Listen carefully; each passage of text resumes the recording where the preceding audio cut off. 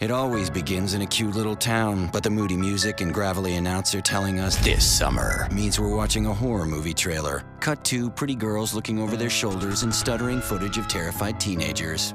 But what if it's not a movie? What if instead of 90 minutes of murder and mayhem, it's 10 hours? Sure, the reason you watch each week is because you fell in love with the characters, but maybe deep down you know the reason you keep coming back is to watch them die. Scream series premiere Tuesday, June 30th at 10, new on MTV.